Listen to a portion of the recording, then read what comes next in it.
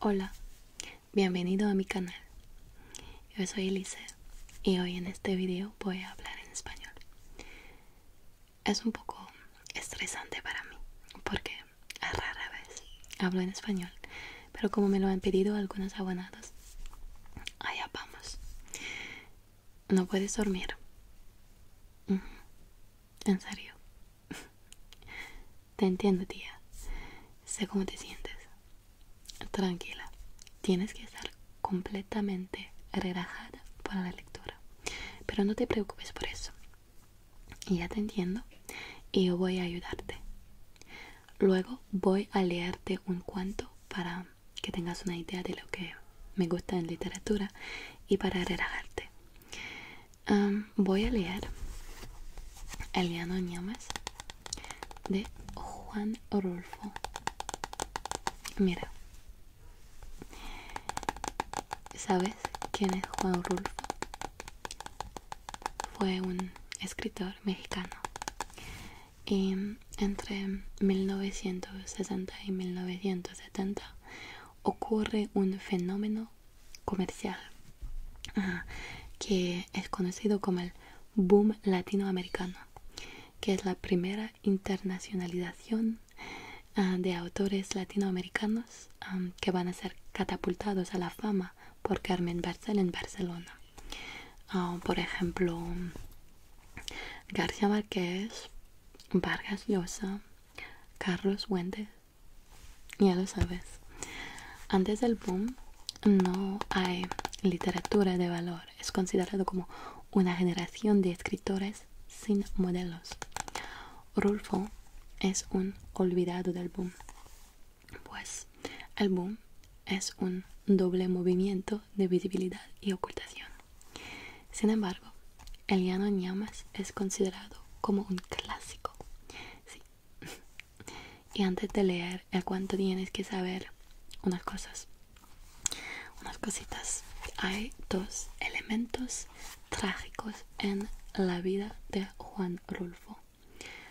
La guerra de los cristeros, que es un conflicto con el gobierno de Plutarco Elías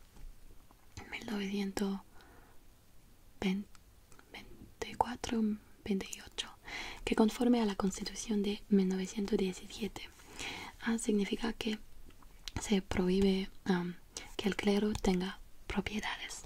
Había una prohibición del clero. Y el segundo elemento trágico es la muerte de su padre, del padre de Juan Rulfo, quien fue matado por Guadalupe Nava. entonces, Juan Rulfo es un autor que utiliza fatalismo y laconismo meditativo como técnica narrativa. En 1953, dos años antes, la novela Pedro Páramo, que tengo aquí, salió a la luz esta recopilación de cuentos que se llama El llano en llamas. Ah, y las preguntas que podrían nacer en el mente de los lectores como nosotros serían ¿por qué escribe lo que escribe?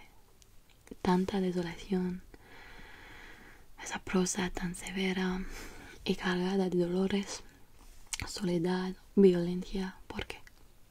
Bueno, el primer paso que quiero que hagas es que quiero que cierres tus ojos y escuches mi voz. Solamente tienes que escuchar mi voz. Muy bien. Vas a imaginar en tu mente, en tu cabeza, en tu mente todo lo que yo te diga para que pueda ayudarte, ayudar a relajarte. Bueno, el um, cuento se llama Nos han dado la tierra. Mm. Pero no sé si puedo leer todo el cuento. Pero ah, el título Nos han dado la tierra implica una dinámica tripartita entre un donante, un donado y un don. Hay dos que no son conocidos y la tercera persona, en plural, nos han dado la tierra, es desconocida. Hay una indeterminación voluntaria de la, de la identidad del donante. El don, que es la tierra, el don con un artículo definitivo, es el objeto de la dación. ¿Qué piensas? ¿Es un don humano o divino? Si fuera divino, el donante sería Dios, pues una lectura metafísica del cuento sería posible. Pero la lectura podría también ser política.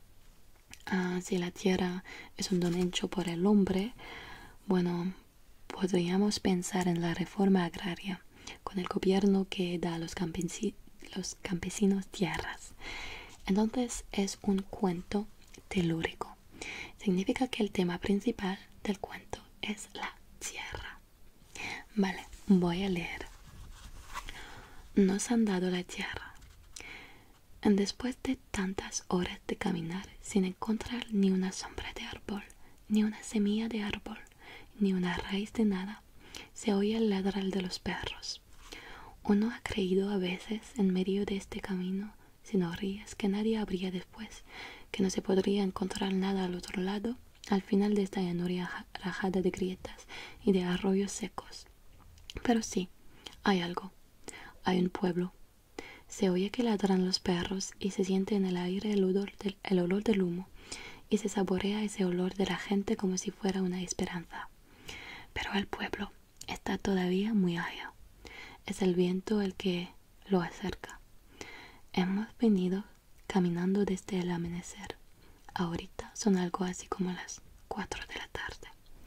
Alguien se asoma al cielo, estira los ojos hacia donde está colgado el sol y dice son como las cuatro de la tarde. Ese alguien es Melitón. Junto con él vamos Faustino, Esteban y yo. Somos cuatro. Yo los cuento. Dos adelante, otros dos atrás. Miro más atrás y no veo a nadie. Entonces me digo, somos cuatro. Hace rato como a eso de las once. Éramos veintitantos, pero puñito a puñito se han ido desperdigando hasta quedar nada más este nudo que somos nosotros. Faustino dice, puede que lleva. Todos levantamos la cara y, y miramos una nube negra y pensada que pasa por encima de nuestras cabezas. Y pensamos, puede que sí. Nos decimos lo que pensamos.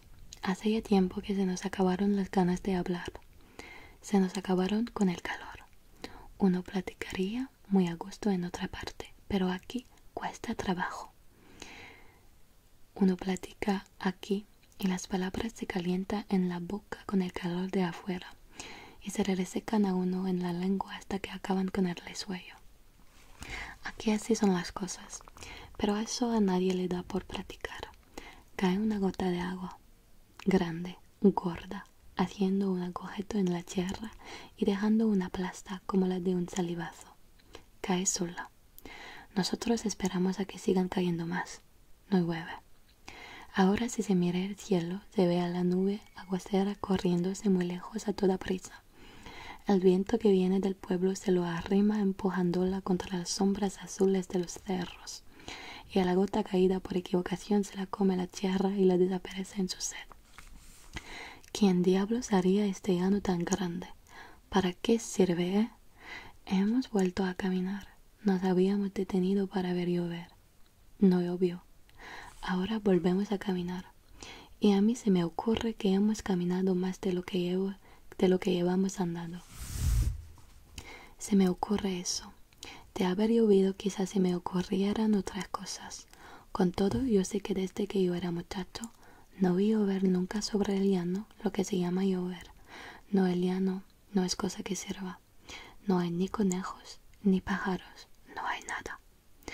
A no ser unos cuantos huizaches, tres pereques y una que otra manchita de zacate con las hojas enroscadas, a no ser eso, no hay nada. ¿Y por aquí vamos nosotros? Los cuatro a pie. Antes andábamos a caballo y traemos terciada una carabina. Ahora no traemos ni siquiera la carabina. Yo siempre he pensado que en eso de quitarnos la carabina hicieron bien. Por acá resulta peligroso andar armado lo matan a uno sin avisarle, viéndolo a toda hora con la treinta amarrada a las correas. Pero los caballos son otros asuntos. De venir a caballo, ya hubiéramos probado el agua, el agua verde del río y vaciado nuestros estómagos por las calles del pueblo para que se les bajara la comida. Ya lo hubiéramos hecho de tener todos aquellos caballos que teníamos. Pero también nos quitaron los caballos juntos con la carabina. Vuelvo hacia todos lados y miro a llano. Tanta y tamaña tierra para nada. Se le resbalan a unos los ojos al no, al no encontrar cosa que los detenga. Solo unas cuantas lagartijas salen a asomar la cabeza por encima de sus agujeros y luego que sientes la tatema del sol corren a esconderse en la sombrita de una piedra. Pero nosotros, cuando tengamos que trabajar aquí, ¿qué haremos para enfriarnos del sol? Eh? ¿Por qué a nosotros nos dieron esta costa de tepetate para que la sembráramos? Nos dijeron, del pueblo para acá es de ustedes. Nosotros preguntamos, ¿el llano? Sí, el llano. Todo el llano grande.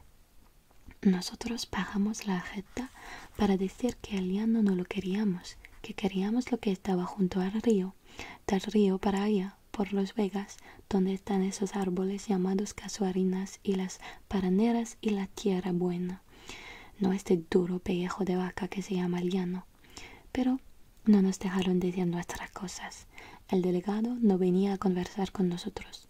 Nos puso los papeles en la mano y nos dijo, no se vayan a asustar por tener tanto terreno para ustedes solo. Es que el llano, señor delegado, son miles y miles de yuntas, pero no hay agua, ni siquiera para hacer un buche hay agua. Y el temporal, nadie les dijo que se le iba a dotar con tierras de riego. En cuanto allí llueva, se levantara el maíz como si lo estiraran. Pero, señor delegado, la tierra está deslavada, dura. No creemos que es el que el arrado se entierra en esa como cantera que es la tierra del llano. Habría que hacer acogeros con el asadón para sembrar la semilla, y ni aun así es, positivo que nazca nada, ni nada nacerá. Eso, manifiest eso manifiestenlo por escrito. Y ahora váyanse. Es el latifundío al que tienen que atacar, no al gobierno que les da la tierra. Espérenos usted, señor delegado. Nosotros no hemos dicho nada contra el centro. Todo es contra el llano. No se puede contra lo que no se puede. Eso es lo que hemos dicho. Espérenos usted para explicarle. Mire, vamos a comentar por dónde íbamos, pero él no se quiso oír. Pero él no, pero él no nos quiso oír. Así nos han dado esta tierra. Vale. Ah, ¿Qué piensas de ese cuento?